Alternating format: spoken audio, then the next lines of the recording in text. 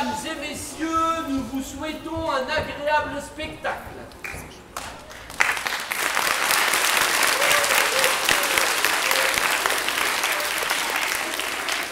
C'est l'histoire euh, d'une classe au début où euh, la maîtresse demande de ramener des objets. Et donc euh, il y a un élève, il amène une armoire. Et donc quand la maîtresse elle est partie, en fait, la maîtresse leur a dit d'en profiter pour regarder tous les objets donc, ils vont le faire. Et donc ils s'intéressent à l'armoire en premier. Et donc en fait ils découvrent que cette armoire elle est un peu magique, qu'il va se passer des choses. Et en fait au fur et à mesure du spectacle, ils vont, ils vont voyager dans plusieurs euh, mondes. Donc, ils vont aller dans l'école 1900, ils vont voyager dans le futur, ils vont aller à l'époque des Cro-Magnons, ils vont aller euh, vers Louis XVI. Et ensuite, à la fin, euh, quand la maîtresse revient, en fait, les enfants, ils ont complètement changé. C'est-à-dire qu'avant, ils s'aimaient pas les uns les autres, ils n'étaient pas du tout proches que maintenant, bah, ils s'aiment tous, ils s'aiment tous et tout ça. La maîtresse est complètement étonnée.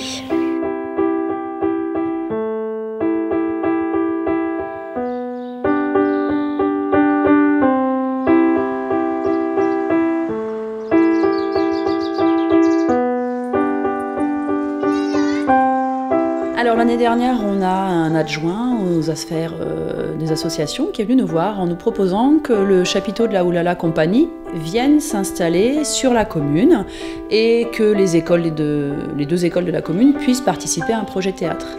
Donc on en a beaucoup discuté avec l'équipe enseignante. On est allé visiter euh, le château qui était installé sur une commune euh, voisine. Et puis on a décidé de se lancer avec l'équipe enseignante. Et donc on s'est inscrit, nous, pour euh, faire travailler les CP jusqu'au CM2.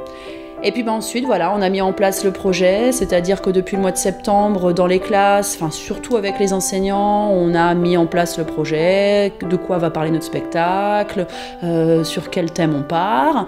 Et puis petit à petit, on a intégré les enfants à l'écriture. Et depuis le mois de janvier, donc les enfants, avec nous, participent à des ateliers pour pouvoir monter un spectacle et faire trois représentations devant un public au mois de juin. Et eh bien en fait, donc euh, la Compagnie, c'est une troupe de territoire. Et moi, ce métier, je le fais déjà depuis au moins une vingtaine d'années. J'ai peut-être une centaine de spectacles à mon actif, avec euh, des plus jeunes, des plus vieux, enfin des enfants, que ce soit du primaire au collège ou au lycée. Et depuis 2013, euh, euh, depuis que la Oulala a acheté un chapiteau, on crée nos spectacles sous chapiteau. Et donc, on doit être à notre dixième spectacle sous chapiteau. Et l'an passé, l'école des marronniers est venue nous voir dans la commune d'à côté. Toute l'équipe est venue voir sous le chapiteau euh, l'outil, notre méthode de travail, comment on investit les enfants dans, le mode d'écriture du, début à la fin. En fait, ils sont acteurs, bien sûr, pour les trois représentations, mais alors euh, à l'école, ils écrivent le, scénario. C'est vraiment l'histoire que les enfants nous ont imposée. Nous, on ne juge pas, on, on prend par contre, on accompagne. Il y a plusieurs intérêts pédagogiques parce que pendant euh, tout ce travail, les enfants vont euh, participer à différentes choses et travailler plusieurs compétences. Euh, bon, bah, de toute façon, déjà, première compétence, tout ce qui est travail de littérature, parce qu'en amont du projet, dans les différentes classes, on a travaillé sur des albums, notamment maternels, ou sur nous, tout ce qui est les grands, on travaille sur le théâtre, voilà, comment on écrit une pièce de théâtre, comment est faite une pièce de théâtre. Après, il y a tout ce qui est sur les ateliers, tout ce qui est travail de sport, de motricité, se placer sur scène, se regarder les uns les autres, travailler en fonction des uns des autres. Après, on a voilà la diction, donc parler devant un public, être capable d'apprendre un texte et tout. Donc voilà, c'est un projet global qui euh, fait travailler euh, l'ensemble des compétences, euh, beaucoup de compétences des programmes scolaires. C'est très très motivant parce que euh, on se dit qu'on va tous vers le même but, c'est-à-dire faire des représentations devant un public et que le public apprécie. Et donc il y a une coopération qui se met en place entre nous les enseignants. Bon déjà euh, voilà, on travaille déjà bien ensemble, mais aussi entre les élèves parce que forcément ils vont intervenir les uns avec les autres. Donc ils s'aident les uns les autres et au niveau coopératif, au niveau responsabilisation aussi des plus grands par rapport aux plus petits, c'est très très très intéressant et voilà, c'est vraiment bénéfique sur sur ces points-là. Le fait que euh, que ce soit un projet qui concerne toutes les classes. Ça, c'est super intéressant. Quoi. Et que notamment ma classe va intervenir, euh, va avoir des, liens avec chaque classe, avec les petites sections, avec les, tous les maternels, avec toutes les classes, parce que le, principe de la pièce, c'est que ma classe rencontre un petit peu les, autres classes, enfin ce que ce qu'interprètent les autres classes. Bah, ça crée une espèce d'ambiance, un projet un petit peu commun à toute l'école. Donc ça va créer du lien. Des projets de cette ampleur, c'est assez rare. Euh, on va pas dire dans pas dans notre secteur, parce que là où la compagnie, elle, elle, circule dans notre secteur, donc elle le propose aux différentes écoles, donc dans notre secteur, non. Mais c'est vrai qu'un projet sur une année complète et qui fait intervenir l'ensemble des élèves de l'école, c'est quand même assez rare. Certaines fois, on fait des projets qui vont faire intervenir juste un cycle, on part en classe de mer, ou euh, on a un projet euh, plus basé sur un, une ou deux classes. Là, que ça fasse travailler l'ensemble de l'école, c'est quand même assez rare. Mais nous aussi, c'est notre but. Notre but, c'est de pouvoir travailler avec l'ensemble des élèves sur un projet commun. Après, on ne demande pas la même chose aux enfants, mais le but, c'est ça.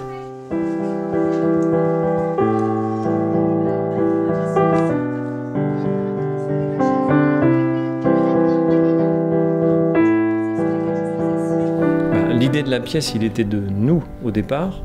Et euh, après, bah, Nicolas, il, brode un petit peu là-dessus et euh, ça part un petit peu dans tous les sens parce qu'il est très créatif et il est capable d'imaginer toutes sortes de, de, situations ou de péripéties. Donc le projet, il a, évolué, ça n'a rien à voir avec ce qui était imaginé au début.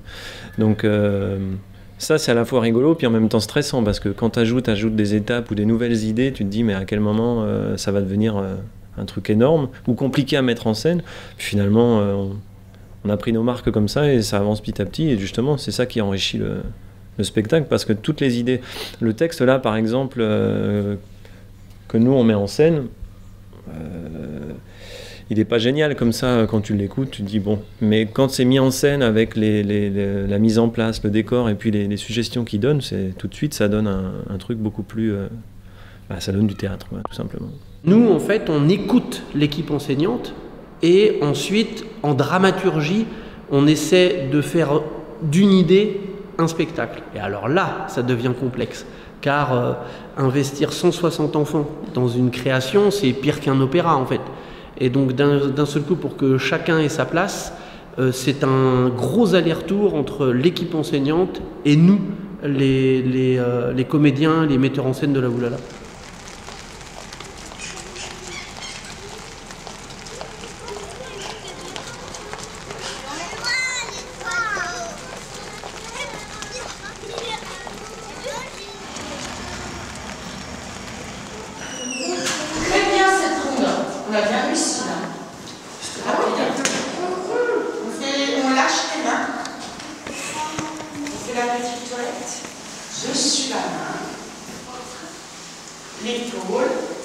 chaque atelier, il y a un petit rituel.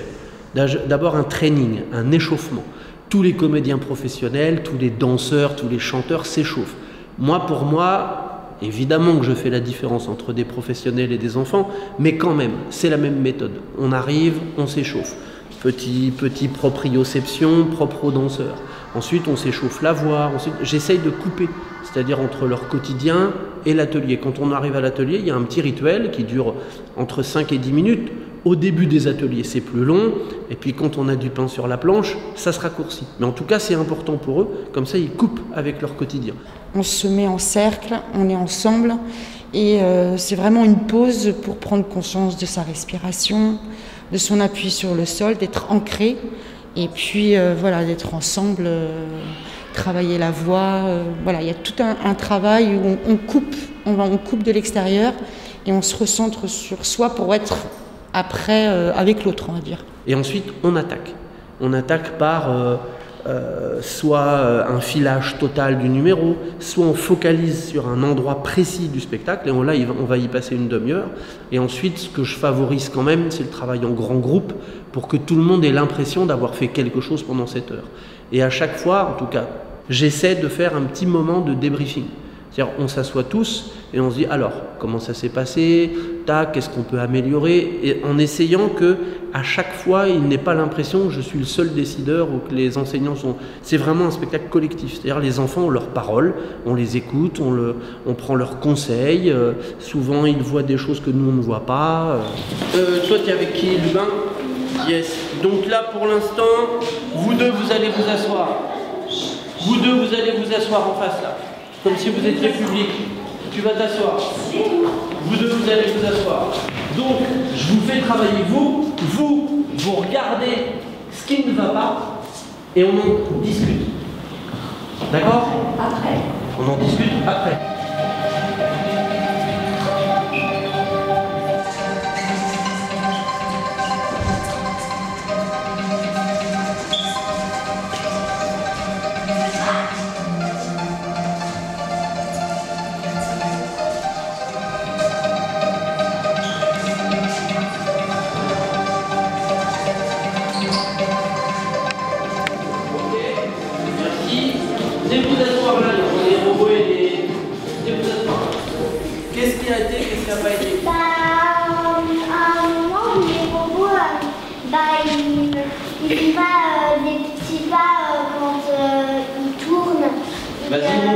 Faut faire. Il faut faire comme ça. Et eux, ils font comme ça. Moi, je suis d'accord. Bah, oui, ils font les deux fois. Alors que normalement. Une fois. Ah, ouais, d'accord. ok, ok. Donc en fait, c'est quand on fait ça, c'est que un quart de tour. C'est pas euh, genre on n'attend pas qu'on nous arrête quoi.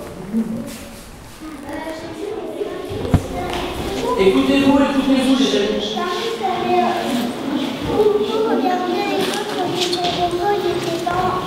Attends, j'ai pas entendu, vas-y.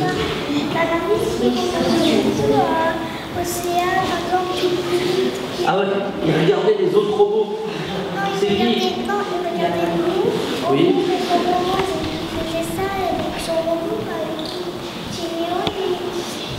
Il, est- il- Il attendait qu'il. euh, Ouais, non, mais je vois bien le problème. C'est qu'en fait, il, observait les copains et il disait Ah, c'est pas mal. Ah oui, c'est vrai, j'ai un robot. Ah, bah, ça, c'est le problème. On est spectateur des copains. Bon, bref. À la force, on va s'habituer.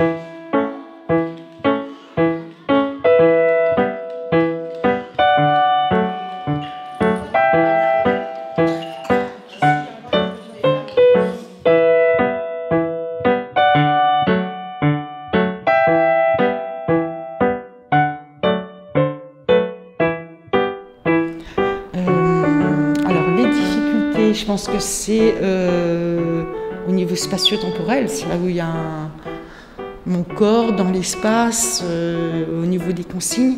Après, moi je suis vraiment étonnée par, euh, par leur façon et leur capacité bah, de- de comprendre quand même les enjeux, l'histoire. Euh, c'est ça, c'est bien les remettre dans l'histoire. Pour l'instant, là, pour les, on va dire pour les petites sections, il y a une section, je me contente à leur univers de Cro-Magnon, sachant qu'après, ils vont être dans une autre histoire. quoi. Donc, c'est bien les ancrer et et faut, qu'ils sachent ce qu'ils vont faire, ce qu'ils vont raconter. C'est ça l'idée, pour que sur, euh, ils puissent être ancrés et raconter une histoire à eux. Quoi. Moi, ce que j'essaie au maximum, c'est que les enfants comprennent ce qu'ils font. Que ce ne soit pas. Enfin, j'ai pas envie d'avoir des marionnettes, en fait. Maintenant, c'est un projet scolaire, c'est-à-dire on, leur impose quelque part de, rentrer dans un, thème théâtral.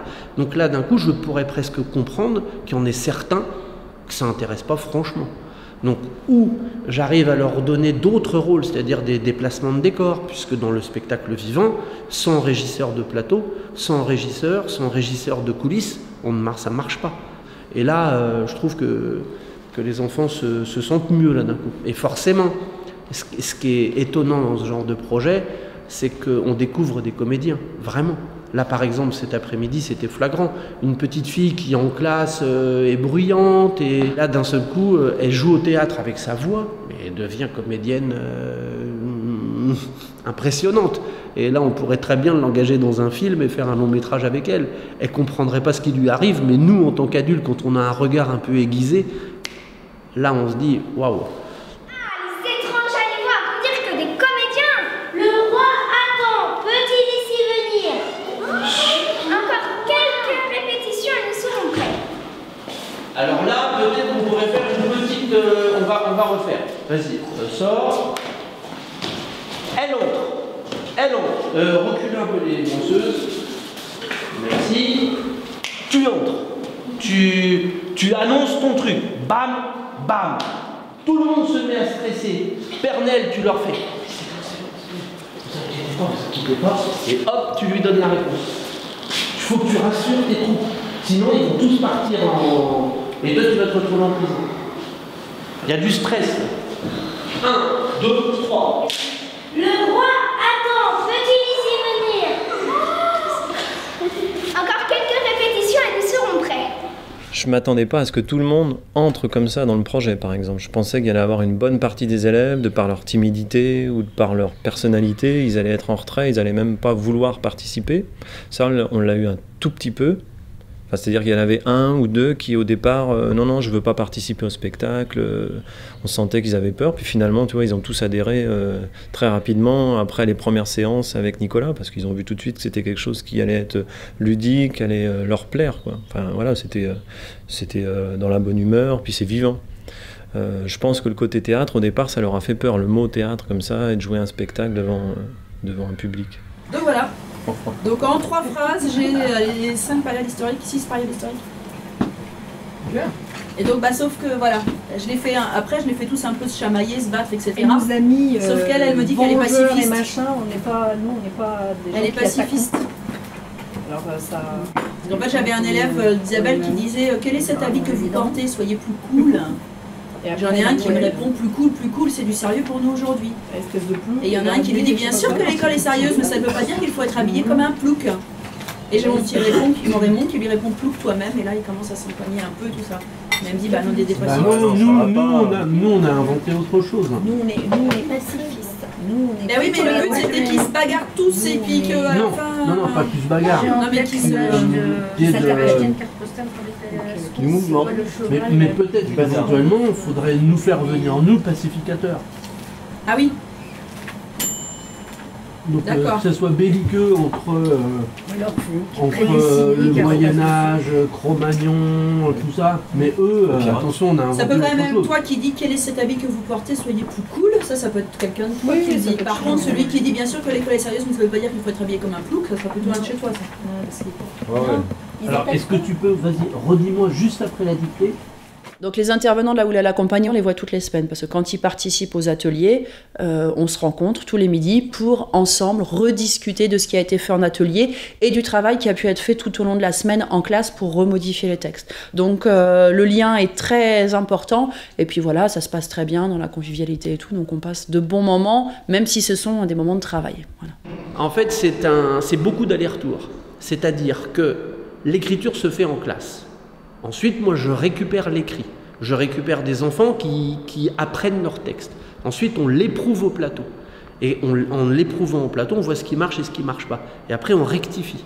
Donc là, il y a des allers-retours entre la classe et l'atelier.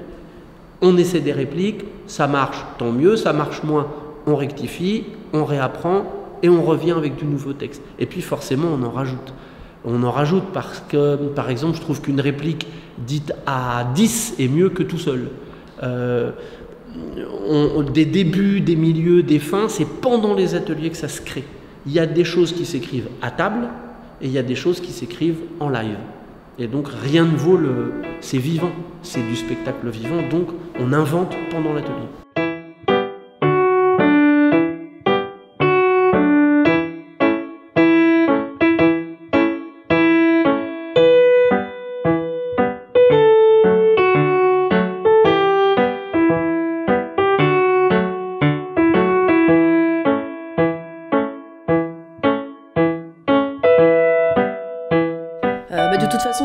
On n'est pas investis, euh, voilà, le projet ne peut pas être mené à bien parce que euh, c'est vraiment un projet global. Donc, euh, moi, il a fallu que je me documente tout d'abord parce que donc moi, ma classe, on travaille sur l'école de 1900.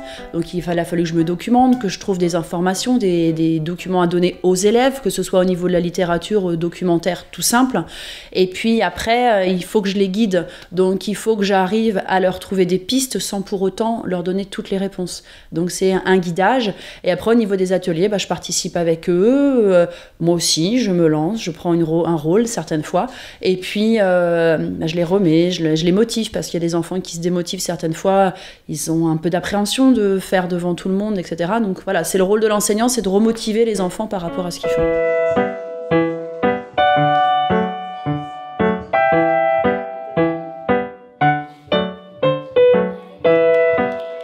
Au niveau timing, on est très très bien. C'est-à-dire que euh, moi, je, connais le, le- le- le spectacle dans son entièreté, c'est-à-dire du début à la fin. Je vois où est-ce que je me situe, je vois l'avancée du travail. Maintenant, j'ai pas l'impression, ou même les enseignants ou les enfants euh, ont pas même, euh, pas le même regard que moi.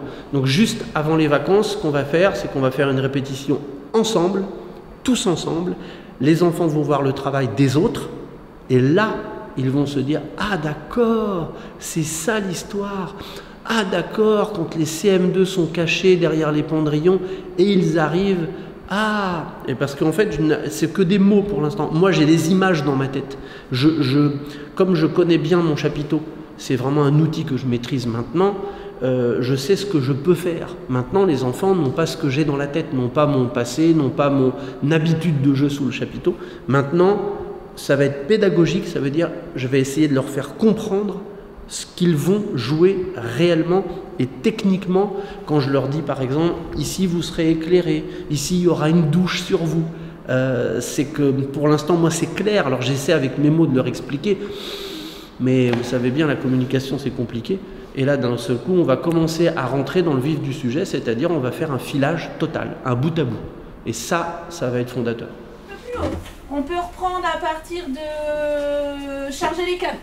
C'est parti. Allez. Chargez les canons Chargez les canons Chargez les canons Moi j'entends pas. Non, moi j'entends pas l'aile. J'entends charger les canons. Charger les canons. Moi je vais entendre l'aile. On le refait. Le petit lait, c'est important. Chargez les canons Chargez les canons Chargez les canons Pouic pouic Ouah À l'abordage Ouais Pas de quartier Pas de quartier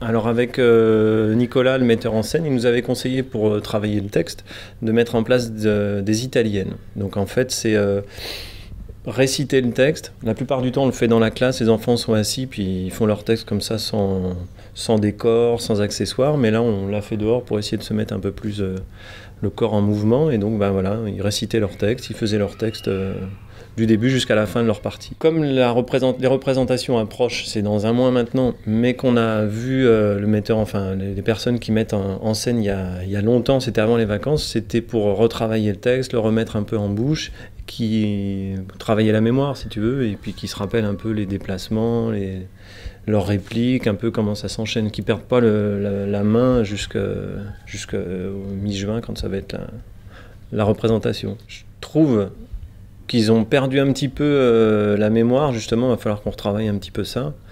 Mais dans l'ensemble, c'est pas mal. Ils ont les enchaînements, ils savent à quel moment ils interviennent.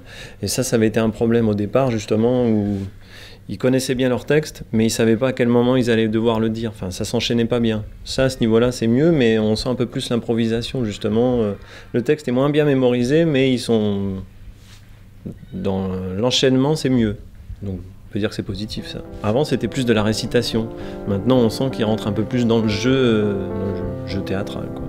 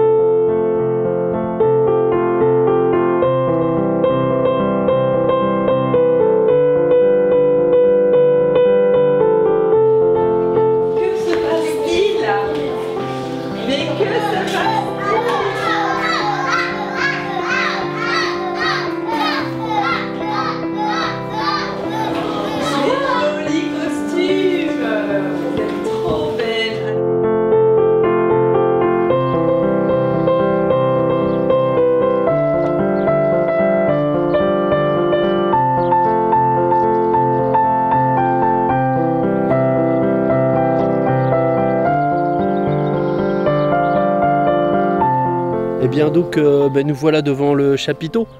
Euh, c'est quand même quelque chose que, qu'on attendait, que les enfants attendaient, que le spectacle attendait. Euh, donc on a beaucoup répété en salle des fêtes et il y a à peu près trois semaines, quand le chapiteau est, arrivé, ben, les enfants ont découvert l'espace. Un espace de 10 par 13 avec la hauteur, avec la grandeur du chapiteau. Donc on est allé tout doucement pour les plus petits parce que sinon ils se font une montagne de l'affaire et après ça les empêche de dormir. Et puis euh, ben, ça a été très rigolo de mettre les premiers éléments de décor, de, faire les premières scènes euh, dans le vrai espace. Et là on s'est aperçu qu'il fallait adapter. Par exemple, multiplier les marquages au sol. Euh, au début, l'armoire était plutôt euh, côté, euh, côté jardin, puis après elle s'est retrouvée côté au milieu, et puis finalement elle finit complètement à la cour. Euh, donc ça c'est rigolo. J'ai même complètement revu des déplacements entiers. Par exemple, l'entrée de la classe dans la salle des fêtes c'était côté jardin, et là maintenant c'est côté cour. Donc euh, les élèves souvent euh, les entrées-sorties c'est ancré dans les corps, et donc là il a fallu retravailler pour que euh, l'habitude se fasse d'entrer par un autre côté. On fait des choix, et, là. Hier soir, on a fait une réunion avec l'équipe enseignante pour la dramaturgie et en fait, on a décidé de réduire la fin. En fait, c'était une, scène plus, conséquente et plus ambitieuse et on s'est aperçu que, un, ça, ça alourdait le rythme du spectacle et puis deux, c'était peut-être peut-être un peu too much pour, euh, pour les pitchous et en fait, on l'a réduit ce matin, euh, ça a répété en fonction de ce qu'on a décidé hier soir et je pense que ça, ça amène mieux le spectateur à comprendre. euh, donc vraiment jusqu'au dernier moment, bon bah vous le savez mieux que moi, ça a tourné ce matin, il y a encore des choses qui sont en train de se caler. La dernière semaine a été très très très speed. A fallu mettre en place plein de choses au dernier moment, recaler par exemple tous les déménagements des tables sur les différents tableaux et ça c'était vraiment pas au point, euh, des textes, les voix. Donc il y en a eu. euh, enfin, on a passé toute notre semaine sur, euh, sur l'activité théâtre. On n'a pas beaucoup travaillé autre chose. Cette dernière semaine, elle est épuisante. Elle est épuisante parce que euh, bah, forcément c'est la finalité, donc il faut penser à tout pour que pour le jour J, ce soit prêt. Après, au niveau des répétitions, euh, bah, il y en a qui se sont mieux passés que d'autres, mais je pense que la finalité, elle est pas si mal. Qu'est-ce que vous faites là? C'est quoi le certificat?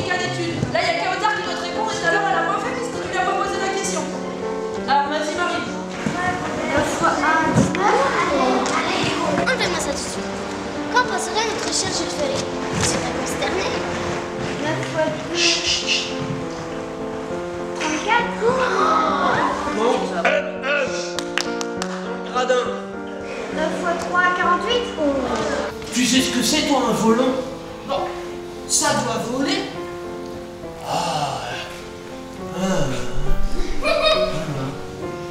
Et là, En fait, vous voyez, simplement, moi je ramène du jeu. Mais du jeu simple. C'est-à-dire, je me penche, elle me donne la réponse, je l'écoute sa réponse et je fais. En fait, ça me parle toujours pas. Un volant, ça doit voler. Et en fait, à l'intérieur de ce tableau-là, les petits loulous, il faudrait trouver du jeu, de l'amusement. Tu vois, toi tu parles de, tes vaches, mais c'est sûr que le public il va se marrer. C'est évident. Il y a plein d'endroits où le public va rire parce qu'en fait, ce tableau-là, il est bourré de blagues. Sauf que les blagues, faut bien les assumer. Par exemple, toi, tu vois, j'ai vu le- notre réalisateur, quand tu as dit des tables complètement à côté de la. il s'est marré. Et c'est normal. Et sauf qu'il faut l'assumer tout ça. Si vous assumez bien toutes vos blagues, c'est un petit tableau qui va super bien fonctionner. On est quoi? On est mercredi soir là? On est à deux jours de la première. Demain matin, c'est la vraie générale, donc ils sont 160. Euh, quoi dire?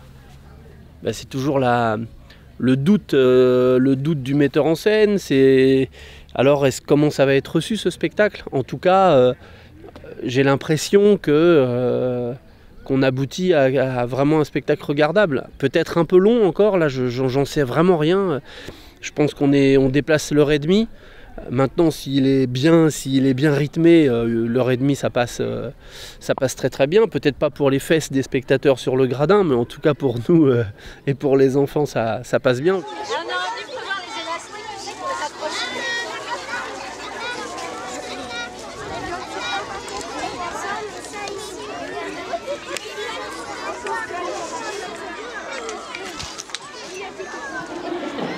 Il s'agit d'une et non d'un spectacle. On est quasiment prêt, on va tenter de jouer dans les conditions du spectacle, mais il est possible qu'il y ait à un moment un souci technique ou un souci quelconque. Donc, ne vous offusquez pas, il est possible qu'un adulte puisse venir sur scène pour gérer un problème. Mais en tout cas, nous sommes quasiment prêts.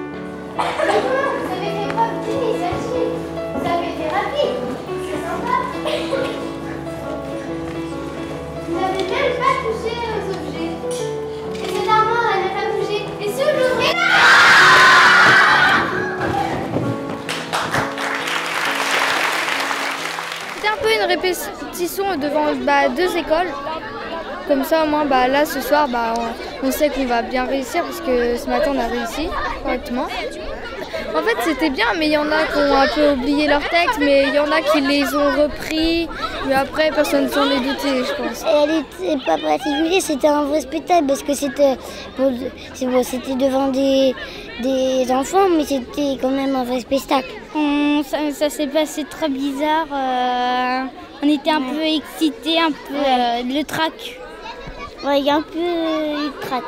Mais au moins j'ai eu un peu le trac, mais après j'ai plus eu le trac. On sent qu'il y a la pression qui monte. Euh, ce matin, il y avait la représentation avec les élèves. Moi, j'étais dans le chapiteau, donc je ne me suis pas rendu compte exactement de ce qui se passait. Mais sur les retours que j'ai des, des maîtresses, il y en a beaucoup qui euh, pleuraient, qui ne se sentaient pas bien juste avant de rentrer en scène. Mais pour le coup, après, je pense qu'ils étaient super contents. Moi, les retours que j'ai eus quand on est reparti à l'école, ils étaient, ils étaient ravis, prêts à recommencer dès ce soir, dans une heure. Et ce qui est chouette aussi de voir chez les petits acteurs, c'est leur, euh, leur implication. Ça va jusqu'à des pleurs en sortant des coulisses. C'est-à-dire ils veulent tellement bien faire, ils veulent tellement se, se dépasser eux-mêmes en fait. Donc nous, avec Joséphine, notre travail, c'est de les, de les rassurer, de, de les rassurer sur leur, euh, leur capacité à, à jouer. Et là, ce qu'on a fait aussi euh, depuis une semaine, c'est leur re-raconter l'histoire. Alors, pourquoi à ce moment-là tu arrives sur scène? Qu'est-ce que tu veux raconter au spectateur? Et ça, c'est important qu'il l'ait et dans les corps et dans l'esprit pour que euh, les loulous n'arrivent pas sur scène comme ça. euh, Non, non, ils savent exactement ce qu'ils veulent faire. Ça a donné euh, plus de cohésion au niveau de la classe. Et puis les élèves s'aidaient les uns les autres et, et ça a surtout révélé certains élèves. Des élèves qui pouvaient être plus timides, plus introvertis en classe, je les ai découverts au théâtre. Ils s'exprimaient alors qu'en classe ils s'expriment très peu. Et à contrario, des élèves qui vont plutôt être en avant en classe, là sur scène, avec la pression, le stress, beaucoup beaucoup plus difficile et beaucoup plus difficile de les entendre. Et la représentation là qui va arriver bientôt, tu le sens comment? Je le sens très bien. Et je suis très fière pour les élèves. Je suis très très fière parce que parce qu'on travaille dessus depuis un an, parce qu'on n'a pas forcément été très sympathique ces derniers euh, jours. On a été très très exigeants. Et là, je suis très fière euh, de pouvoir faire ça avec eux et, et qu'eux ils puissent s'amuser sur scène. Je croise les doigts, mais je pense que. J'espère que ça va le faire. je croise les doigts. Il faut dire quoi euh, dans ce cas-là? Il y a une grossièreté à dire normalement. euh. Ouais, c'est bon. Merci d'être euh, présent et euh, là pour voir vos enfants qui ont passé beaucoup de temps à, à cette présentation de spectacle et j'espère que vous apprécierez. Mesdames et messieurs, nous vous souhaitons un agréable spectacle. Très bon spectacle.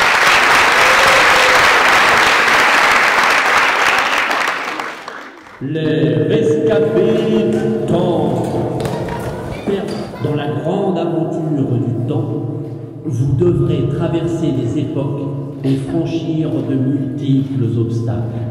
Mais attention, pour échapper aux spirales du temps, il vous faudra absolument terminer la partie.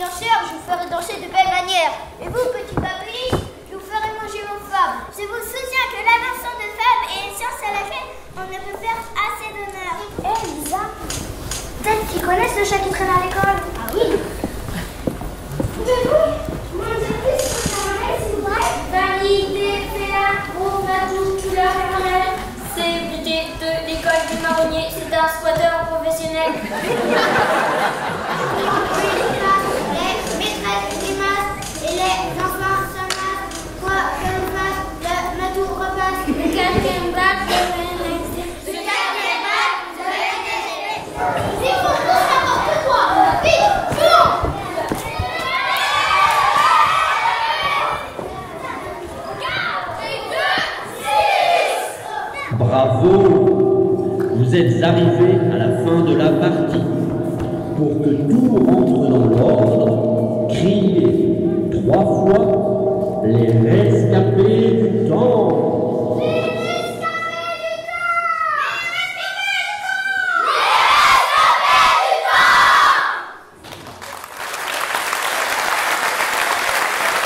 Très bien. euh, ça a été, ouais.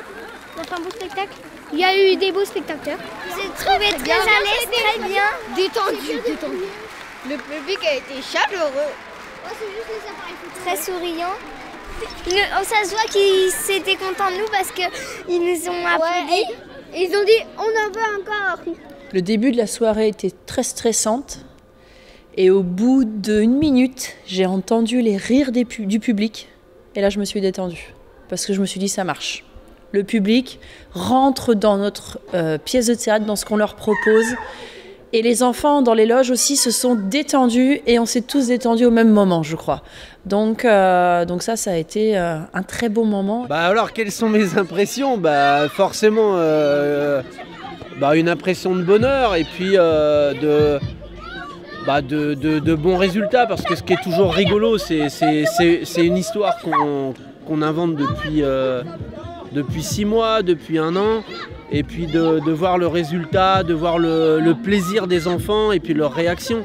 Par exemple, les CM2, euh, dans leur première pause, ils sont sortis en coulisses, ils m'ont croisé et ils font mais, les gens ils, rient, ils rient, ils rigolent, ils se marrent sur nos blagues. Mais oui, bien sûr, évidemment. On avait des images depuis le début et de voir que ça fonctionne, c'est tellement génial, c'est tellement des, euh, vraies réussites. euh, j'ai plein d'images dans la tête, des images féeriques, euh, euh, le petit chant cristallin de notre, de notre pirate qui touche les gens, ma blague avec Monsieur Pichon, ça, fait, ça fait trois mois que j'y crois. Et là, rire général dans le gradin, de voir les parents touchés, qui regardent leurs enfants différemment. Là, j'ai croisé le, le papa de la petite Léna, celle qui a tourné la, scène dans la grotte. Mais on voit dans ses yeux au monsieur, euh, c'est plus que de la fierté, il regarde sa gamine autrement en fait. Et euh, bah voilà, le, résultat d'une aventure artistique et ce qu'on aime euh, à la oulala, c'est d'aller jusqu'au bout, d'être jusqu'au boutiste en fait. ce sont des enfants soit, c'est un spectacle d'enfants soit, mais c'est une vraie création artistique et et je vois bah, les collaborations. Par exemple, euh, à un moment, on a besoin de musique, on a besoin du sati, et eh ben on le fait en clarinette, en live. Euh, on a besoin de films, alors on, fait appel à des, réalisateurs euh, pros. Et, d'un seul coup, c'est cette petite note qui fait toute la différence en fait. les gens qui ont déjà vu des spectacles d'enfants, là, ils sont un petit peu sur les fesses. Pardonnez-moi l'expression mais c'était le but. Et, le but, c'est qu'il passe du rire aux larmes, et je pense que c'est réussi en fait. Et, euh, quand je vois le bonheur euh, des enseignants, ils sont un peu fatigués, mais bon, le jeu en vaut la chandelle quand même. J'en tire une grande fierté. Et une grande fierté pour les élèves qui ont passé beaucoup de temps, euh, qui ont donné beaucoup de leur énergie à ce spectacle et, et je suis très très contente pour eux surtout. Et puis pour toute l'équipe, parce que pareil, ça fait un bout de temps qu'on travaille dessus. On y a mis beaucoup d'énergie et je suis fière aussi de notre équipe, de l'équipe de, l'école de Parcé. Voilà, ça fonctionne bien.